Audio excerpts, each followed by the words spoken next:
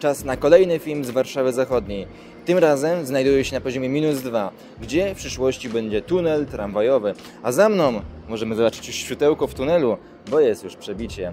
Jak wygląda budowa całej Warszawy Zachodniej z nowym przejściem podziemnym, z nowymi peronami, z nowym dachem, z nową halą dworcową przy ulicy Tunelowej? O tym wszystkim w dzisiejszym filmie, gdzie również, jak widzicie, wejdziemy sobie prosto na plac budowy. Zaczynamy! Partnerem kanału Avizonosz jest platforma Koleo, gdzie znajdziecie rozkłady jazdy PKP oraz bilety kolejowe.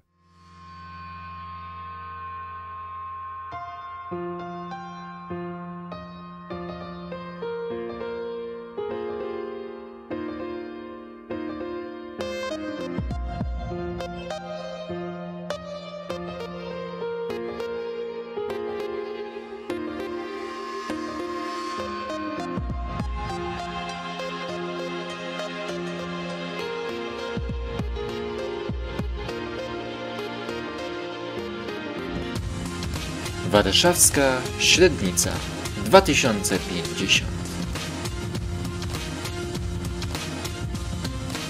Witam Was tutaj, cześć Ząż i zapraszam Was teraz na kolejny materiał z Warszawskiej Średnicy 2050. Tutaj prosto z nad Warszawy Zachodniej, gdzie cały czas prace budowlane postępują, ale nie tam, gdzie to najbardziej widać, czyli nie na peronach, a na dole, na poziomie minus 1 i poziomie minus 2.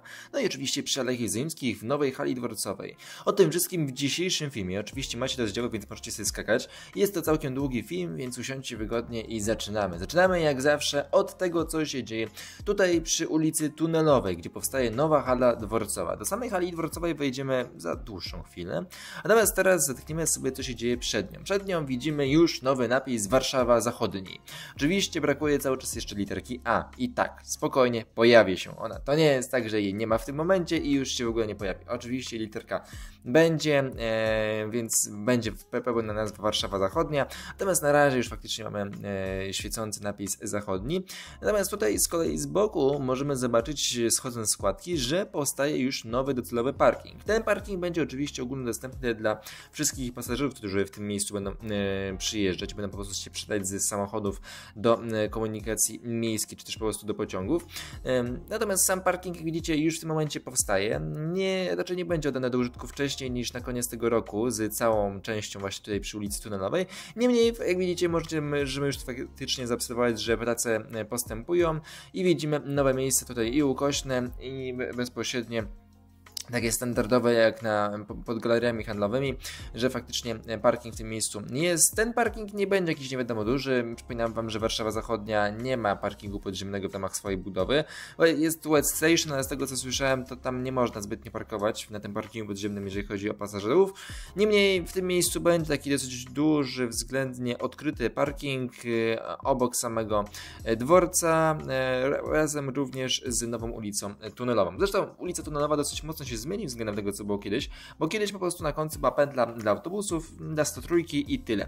Teraz trochę się zmieni, bo owszem, będzie czyli cały czas pętla, z tym, że pętla będzie wyglądać mniej więcej podobnie jak na Warszawie Wschodniej, czyli po prostu będą, będzie jeden długi przystanek, a właściwie kilka i na nie będzie się można zatrzymywać. Na wschodnim właśnie jest kilka przystanków, tu będzie jeden długi podłużny, na którym faktycznie będą autobusy linii 103 i może jakieś jeszcze inne, jak coś ZTM zaproponuje, zatrzymywać się w tym miejscu. Same autobusy będą zawracać na nowym rondzie, który się się powinien znajdować niedaleko peronu 9 i tam też oczywiście będzie dodatkowo jeszcze więcej miejsc parkingowych, a pod samym grzybkiem z kolei będą kolejne miejsca parkingowe. Więc tutaj dosyć duży parking będzie, ale wszystko będzie na ziemi, no ale rzecz jasna z nowymi elementami również zielonymi. Ale dobra, mniejsza z parkingami i z przestrzenią na górze. Co tam się dzieje na dole?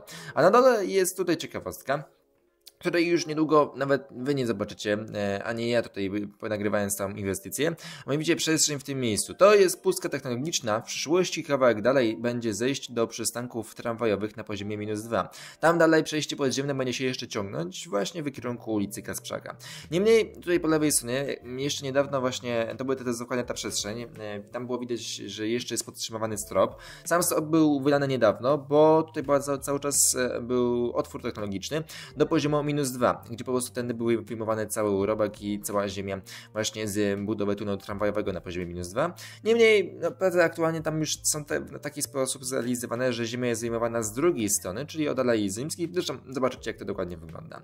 Tymczasem tutaj, teraz pod nami też jest najlepszy przystanek tramwajowy na poziomie minus 2. W przyszłości, a może nawet nie takiej dalekiej, bo tramwaje się trochę ogarnęły, mają ten tramwaje dojechać. Na dole już jest już gotowa przestrzeń technologiczna, w skrócie jest już tam pusto. Niemniej to nie oznacza, że tam tramwaje dojadą teraz, bo tramwaje dojadą tylko właśnie do Alei Jezuńskich, ale może tramwaje się ogarną i uda im się to jakoś zaprojektować i faktycznie dociągnąć te tramwaje tutaj bezpośrednio do tego miejsca. Na razie faktycznie w tym miejscu powstały w miarę szyby windowe wraz z klatkami schodowymi właśnie na poziom minus 2. Niemniej szyby windowe są zaślepione na poziomie minus 1, jak i również same klatki schodowe nie są wykończone, ani nawet nie mają samych schodów na niższe poziomy, więc nie będzie się dało tam zejść na dół. Tutaj z kolei, jeżeli chodzi o dojście, bo my teraz idziemy w kierunku 9. Jak widzicie jest pochylnia, więc my wchodzimy sobie powolutku do góry.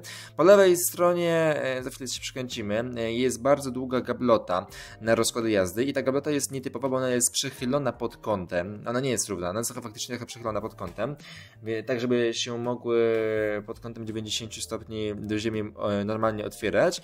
Natomiast dalej oczywiście mamy więcej wyświetlaczy. Wyświetlaczy mniej więcej jest tyle samo we wszystkich miejscach, czyli 5 wyświetlaczy jeden infokiosk, gdzie możemy sobie przeglądać papierowy rozkład jazdy w formie elektronicznej i dwa, i dwa wyświetlacze, które pokazują przyjazdy i odjazdy, więc będzie można faktycznie patrzeć z dużym wyprzedzeniem do przodu. Tutaj z kolei działa już winda do prymacji tysiąclecia, w sensie jeszcze nie jechałem, ale z tego co słyszałem to już winda działa. No i na dalszym odcinku oczywiście mamy też schody ruchome, które już niedługo będą funkcjonować. Tutaj też jest ważne, mogliście zobaczyć w niektórych miejscach tego typu przestrzenie, jak po lewej, jak teraz po prawej stronie, to jest przestrzeń na reklamę. Tych reklam na całym odcinku tunelowym będzie dosyć dużo, jeżeli chodzi o przejście podziemne.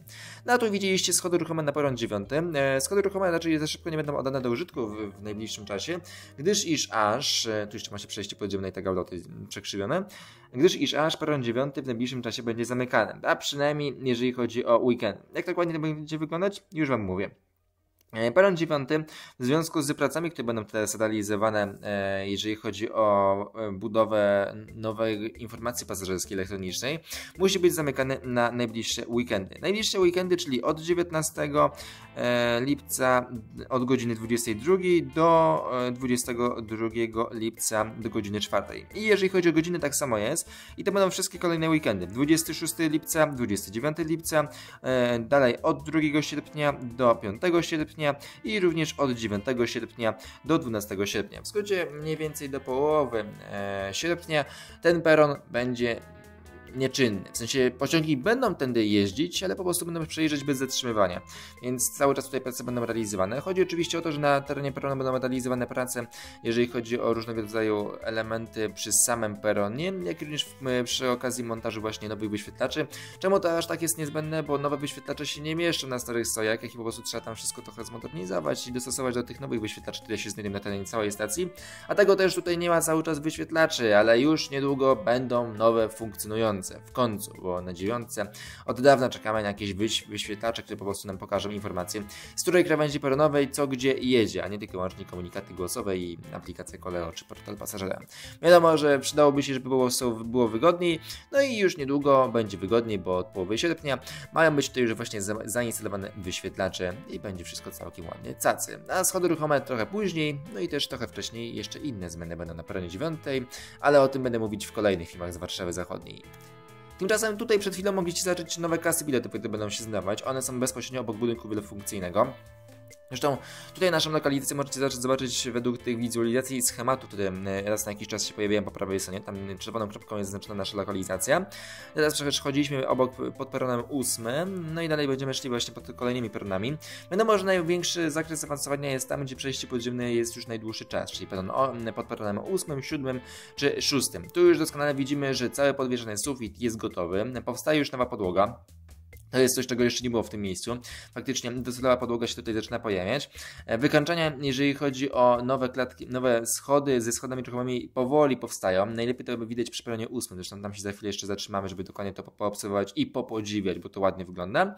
No i w tym miejscu też oczywiście składzik wszystkich schodów ruchomych, które są przygotowane do zainstalowania na kolejne perony, czyli wiadomo, że będą e, po parze na każdy z peronów, jeżeli chodzi o peron drugi i trzeci.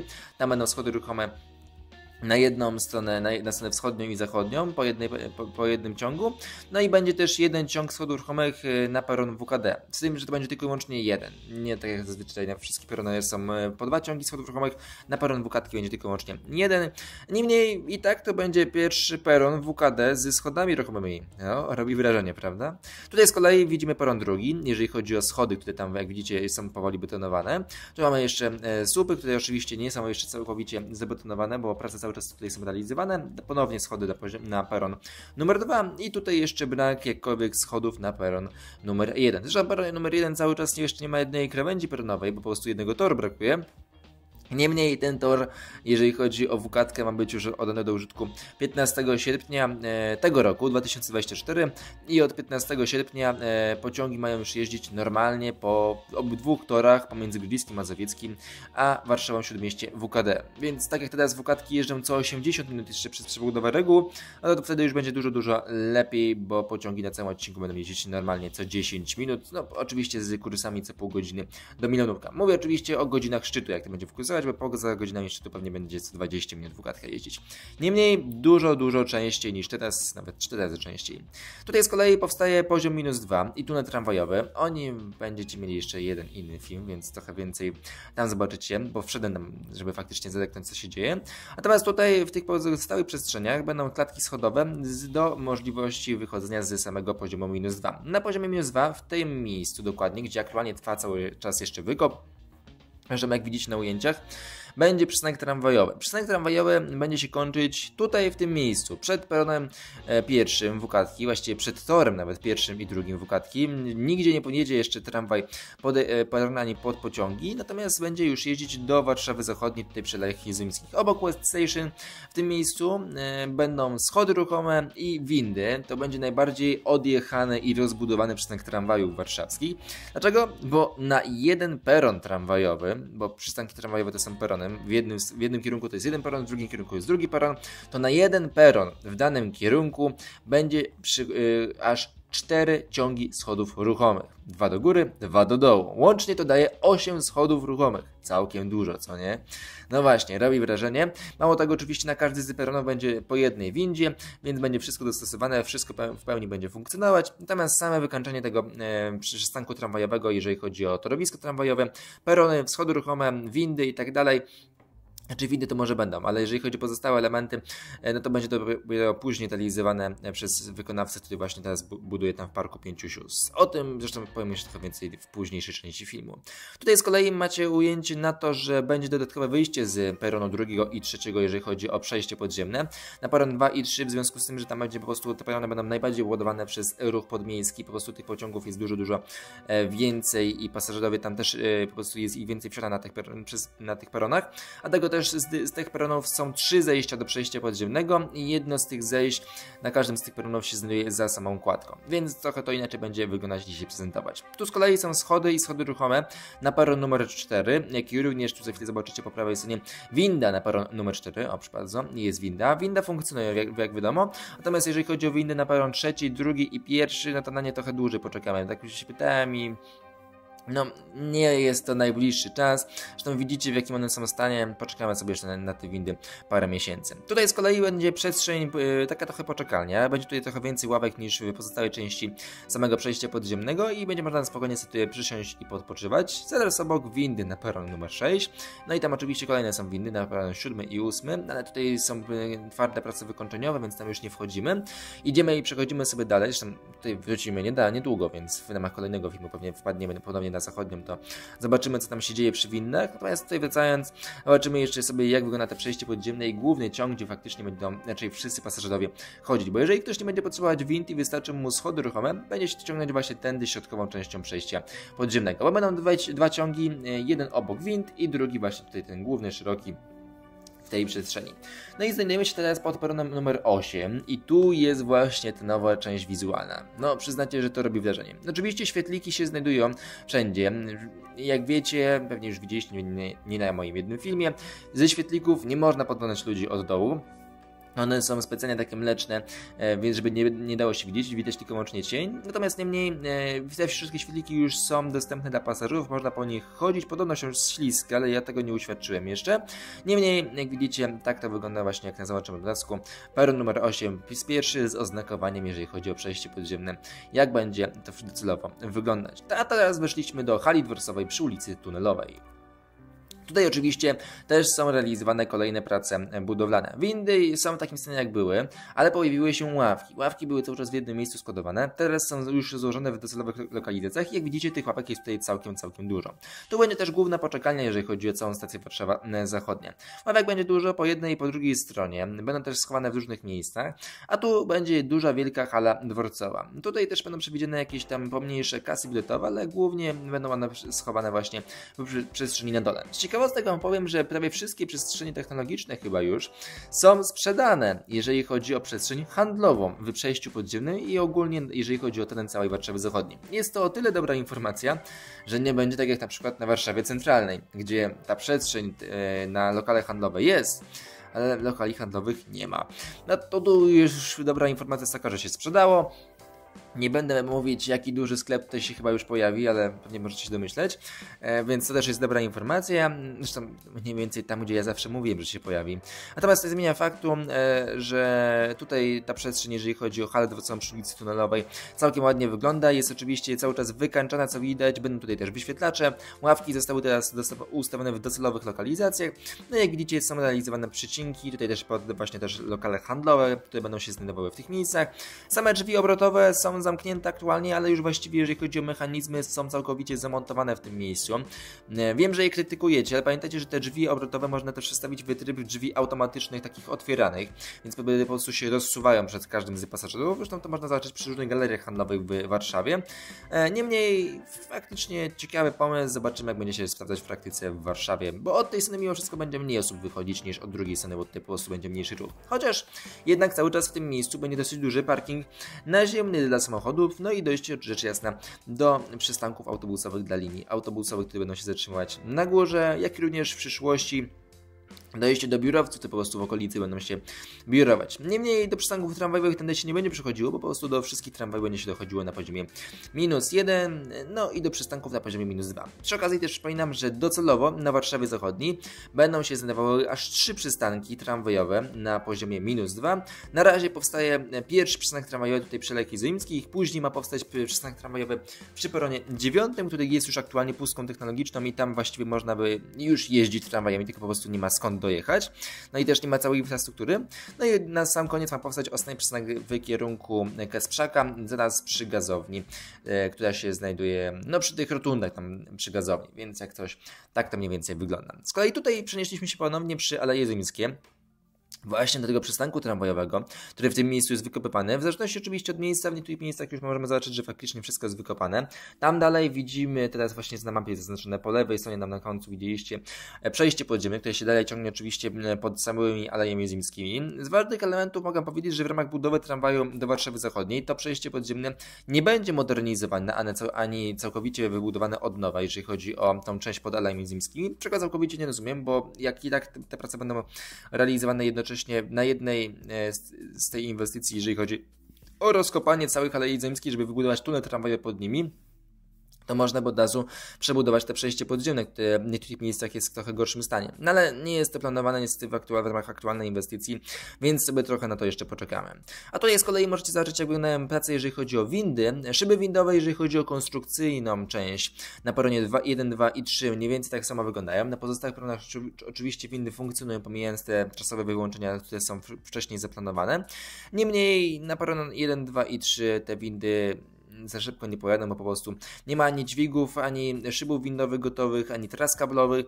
To wszystko będzie jeszcze trwało przez najbliższe kilka miesięcy. No, no na spokojnie mogę powiedzieć, że do grudnia te windy, znaczy do grudnia, no myślę, że w grudniu zgodnie z aktualnym też terminem zakończenia całej inwestycji, e, ma się to zakończyć, e, jeżeli chodzi o budowę wind.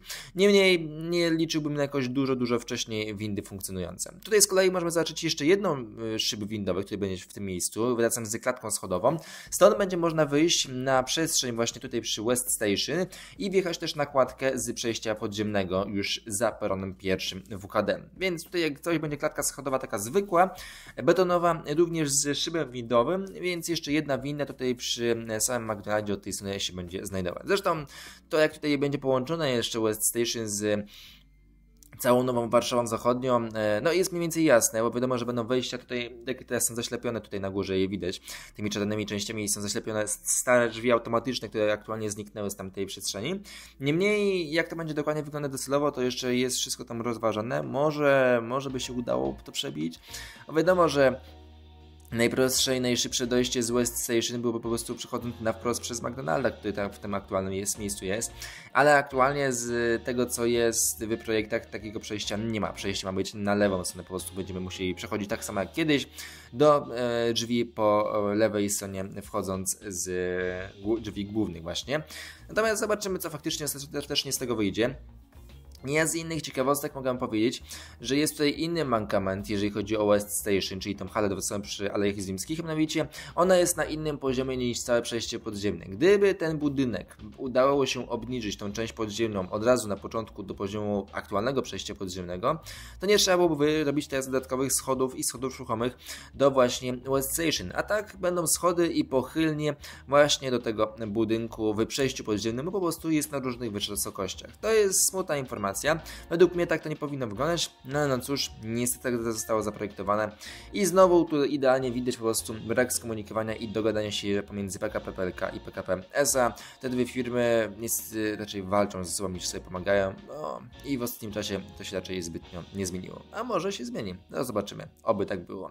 Tu z kolei możemy zobaczyć tunel Prymas Tysiąclecia który na ostatnim odcinku, na tamtym odcinku, po drugiej stronie, pod y, torami Wukatki, jest jeszcze realizowany, jeżeli chodzi o ostatnie prace. Czemu ten tunel jest tak często wyłączany i tak wolno robiony długo? Dlatego też, po prostu nie można tego, tego, wszystkiego było zrobić naraz. E, tory na górze były robione etapami. Najpierw trochę torowiska, najpierw trochę torowiska i później jeszcze trochę torowiska. Na sam koniec jest wukatka i to aktualnie jest właśnie realizowane, czyli jest wzmacnianie tunelu, e, no i też oczywiście wykańczanie go w części, gdzie pociągi WKD już jeżdżą po jednym torze, ale cały czas jeszcze jednego toru nie ma. A tego też ten tunel jest cały czas jeszcze zamknięty i tam ostatnie prace już wykończeniowe właściwie są realizowane. A tu z kolei przy reducie Rodona cały czas znajduje się tymczasowy rozjazd. Jest on niezbędny do funkcjonowania pociągu WKatki. I z tego co słyszałem, ma ten rozjazd już zostać w tym miejscu docelowo. Znaczy on cały czas będzie ręczny, natomiast on zostanie na czas po prostu, kiedy będzie przebudowała warszawskie linii średnicowej, bo wtedy pociągi e, będą dojeżdżać tylko i wyłącznie do Warszawy Zachodniej. E, i nie pojedą dalej do Ochoty ani do Warszawa Śródmieście WKD, chociaż trzeba pamiętać, że przebudowa linii średnicowej jest opóźniona teraz i ma nastąpić dopiero po 2030 roku. Niemniej WKD już się zabezpiecza i raczej tego rozjazdu w tym miejscu, chociaż na drewnianych podkładach nie będzie likwidować. No i tak mniej więcej wygląda cała budowa Warszawy Zachodniej w lipcu 2024. Wy przed chwilą zobaczyliście, co się dzieje na górze Warszawy Zachodniej, w części kolejowej, czyli poziom minus jeden, nowe perony, nowy dach i torowisko. No i oczywiście hala dworcowa przy ulicy Nulowej. Natomiast ja znajduję się na poziomie minus dwa, pod całą Warszawą Zachodnią, w części tramwajowej, gdzie w przyszłości pojedą tramwaje. Jak to wszystko tutaj wygląda i buduje, zobaczycie w najbliższym filmie z tramwaj kierunek Warszawa Zachodnia. Jeżeli chcecie to zobaczyć, kliknijcie subskrybuj i ten dziwny dzwoneczek. Film pojawi się w najbliższych dniach. Tymczasem wracamy do podsumowania filmu. No, film pojawi się tak za mniej więcej 2-3 dni. Tymczasem to był z tego materiału. Jeżeli taki film z Warszawy Zachodniej Wam się podobał, to zostawcie łapkę w górę. Jeżeli chcecie zobaczyć więcej materiałów, kliknijcie w skórę i ten dziwny dzwoneczek. Jak zawsze zachęcam Was do zostania patrami ja Wiznosza, abyście mi pomagali po prostu w realizacji tych wszystkich filmów z Warszawy, z Świetnicy, z Zakopanego, bo jadę teraz, kiedy wy oglądacie ten film, to ja jestem Zakopanem i nagrywam nowe cztery perony. No i oczywiście e, dziękuję jak zawsze e, i Budimexowi za możliwość wejścia ponownie tutaj na lat z budowy, jak i również Koleo, który jest moim partnerem kanału i dzięki temu właśnie do Zakopanego pojadę bez dodatkowych kosztów. Tymczasem tutaj na koniec filmu jeszcze powiem ciekawostkę, mianowicie po prawej stronie widzimy dwa tory odstawcze. One w teorii już się pojawiają całkowicie gotowe, ale będą oddawane do użytku dopiero we wrześniu. Podobnie jak wszystkie to zjazdy i pozostałe łączniki torowe, które jeszcze nie są wszystkie oddane do użytku na terenie całego torowiska, całego torowiska kolejowego na Warszawie Zachodniej. Te prace tutaj, jeżeli chodzi o oddawanie do użytku tych poszczególnych odcinków i elementów, są realizowane w nocy. Dlatego też w nocy możecie zobaczyć, że pociągi nie jeżdżą zupełnie przez Siednicę. Już po 22 zazwyczaj pociągi nie jeżdżą przez Siednicę w weekendy, tylko jadą na przykład z Warszawy Wschodniej, dalej przez Targówek, Gdańską i na przykład dalej do Sochaczewa przez Orzadów Mazowiecki. No niestety tak to jest realizowane, ale już właściwie te wszystkie procesy są na finalizacji i niedługo się to będzie kończyć, jak i również cała Warszawa Zachodnia będzie się kończyć. Przejście podziemne z pozostałymi elementami ma być gotowe do końca 2024 roku, jeżeli chodzi o aktualne terminy budowy, a jeżeli chodzi o WKT, tak jak powiedziałem, w połowie sierpnia będzie już jeździć normalnie na całym odcinku z Warszawy do Gliwicka Mazowieckiego i do Milanówka. Tymczasem Kolejny film z Warszawy Zachodniej, tak jak powiedziałem, pojawi się za miesiąc, a przelot pojawi się za kilka dni. Natomiast jeszcze wcześniej będzie film z tramwaju do Warszawy Zachodniej i przelot również z tramwaju do Warszawy Zachodniej. A w najbliższych dniach również będzie film z mostu na Pragę, jak i również z placu na rozdrożu, które te wszystkie inwestycje są cały czas realizowane, no i rzecz jasna, później też będzie film z Zakopanego, no i coś tam z Poznania. Do znania. Cześć!